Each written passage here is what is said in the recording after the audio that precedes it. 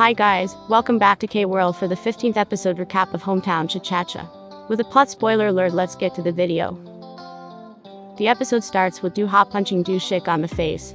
Sung-han and Yoon-chul pulls him away from Du-shik, but he shouts at Du-shik, saying he's no better than a murderer, because he destroyed his family by making his father paralyzed. Everyone is shocked to hear this, so Du-shik quietly walks away. Hye-jin follows him. Du-shik coldly tells her that everything Du-ha said is true, and he also destroyed the family in the photo she saw, by killing Jong-woo. Shocked by it, Hye-jin stops following Du-shik and watch him walk away. Min-sun finds Hye-jin still in shock, and holds her as she cry. Du-shik on the other hand struggles to handle the stress, and quickly have the calming pills to help him settle.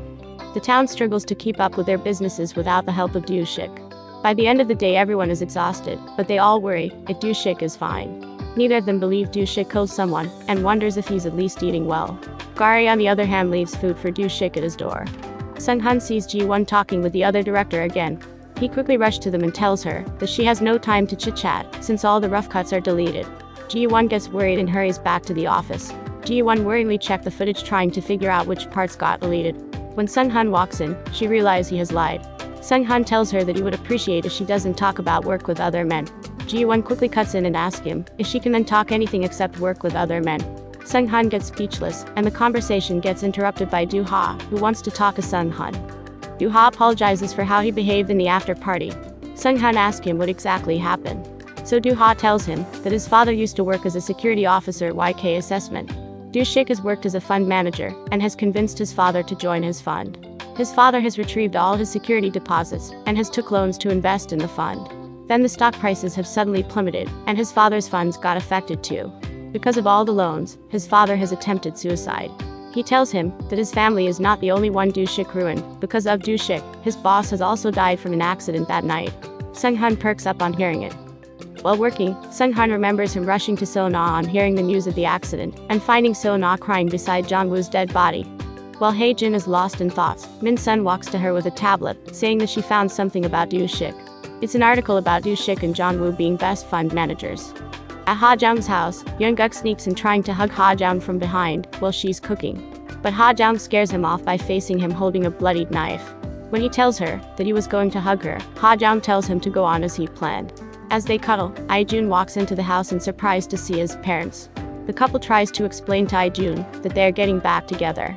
To their surprise, Ai-jun tells them that he respects their decision and goes off to play with Bora.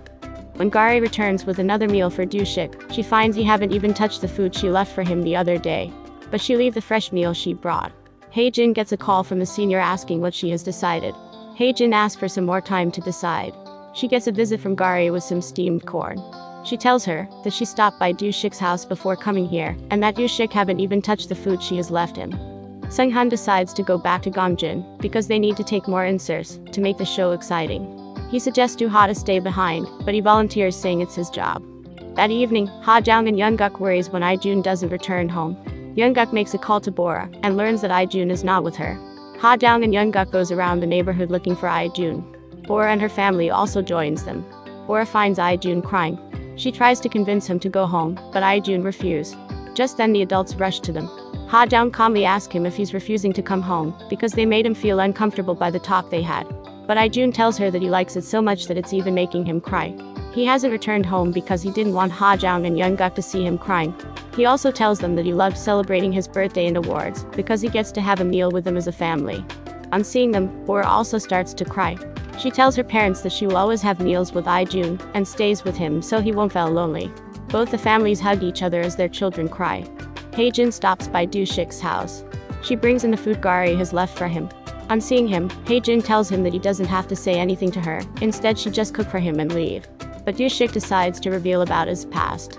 Du-shik tells her that Jong-woo and him were college friends, and he became more like an older brother to him. Jong-woo has convinced him to work at the company he worked as a fund manager. He has met Du-ha's father as well. Everything went smoothly for some time, and he has made a lot of money. One day, Du-ha's father wanted to subscribe to his fund. Because of the high risk, Du-shik has tried to talk him out of it, but because he was very adamant Du-shik has decided to let him subscribe. But suddenly the stock market had plummeted. Du-ha's father rushed to him and Du-shik learns that he has subscribed to something that he didn't recommend. Du-ha's father reveals about the security deposit and the loans, but before Du-shik could properly answer him, he gets an urgent call.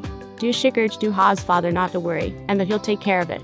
Because he's overwhelmed with work, Do-shik misses a call from Do-ha's father. From a fellow employee, Do-shik and Jong-woo learns that Do-ha's father has attempted suicide. Do-shik tries to drive to him, while he's in shock, so Jong-woo offers to drive.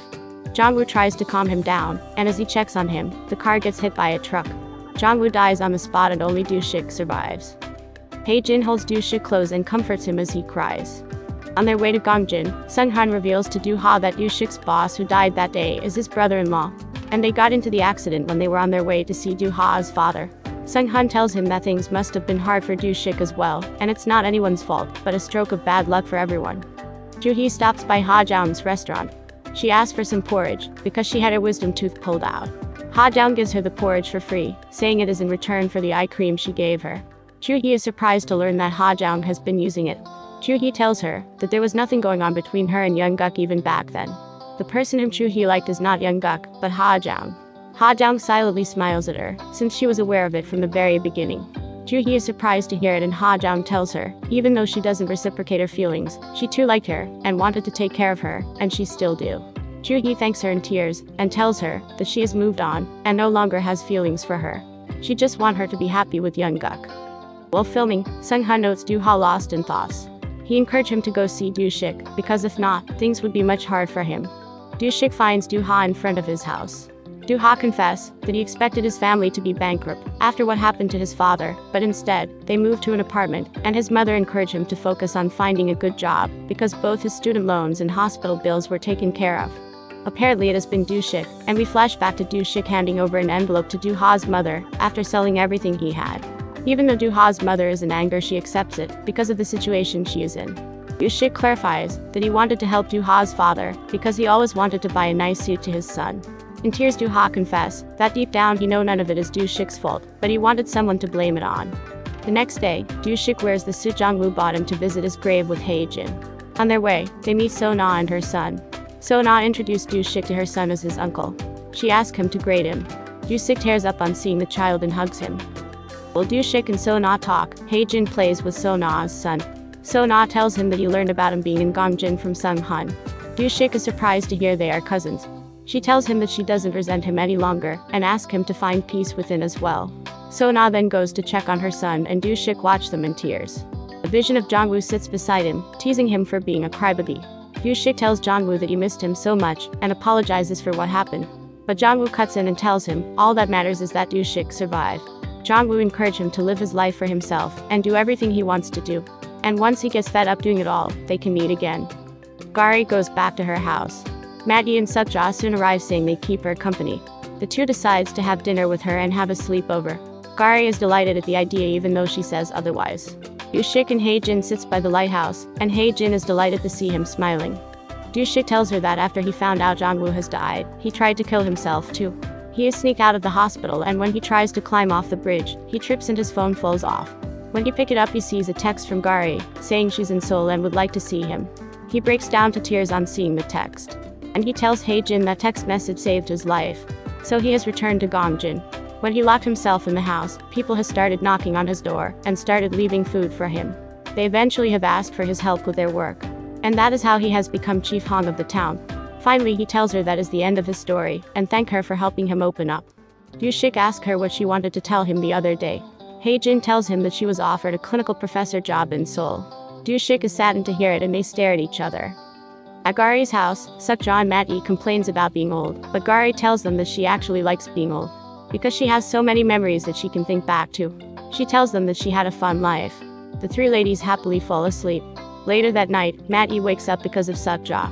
She complains to Gari about having to sleep next to Sukja, but finds out that Gari has died in her sleep. In the epilogue, we see Hye-jin driving past Do-shik crouching next to the guardrail of the bridge. She makes a call to the police and reports it, and waits watching him until he is safely taken to the hospital. With that the episode ends. Thank you so much guys for watching this video. Hope you enjoyed it and I'll see you again in another video.